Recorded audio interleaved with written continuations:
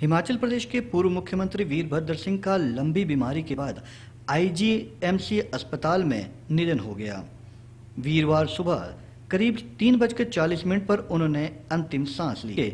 MS doctor Janakraj ने इसकी पुष्टि करते हुए कहा कि अस्वस्थ होने के चलते तीन दिन से वे वेंटिलेटर पे थे और सुबह उनका निधन हो गया।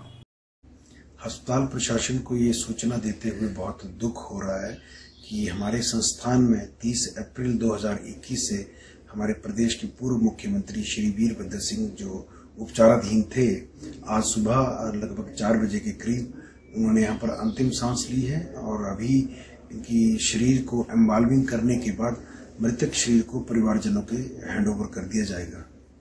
क्या है? दो बार कोविड पॉजिटिव होने की इनकी पुष्टि हुई थी और उसके बाद इनको सीवियर निमोनिया हुआ।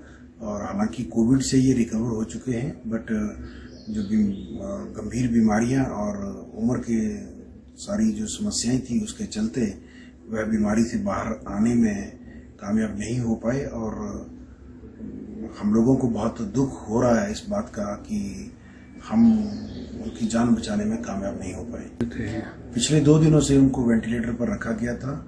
लगातार इनके स्वास्थ्य में गिरावट दर्ज की गई, जिसके चलते इनको वेंटिलेटर पे शिफ्ट किया गया उस पर भी इनकी इम्प्रूवमेंट नहीं हुई है और रात में लगभग चार बजे के करीब जो कार्डियोपल्मोनरी अरेस्ट होने के बाद इनको मृत घोषित किया गया है।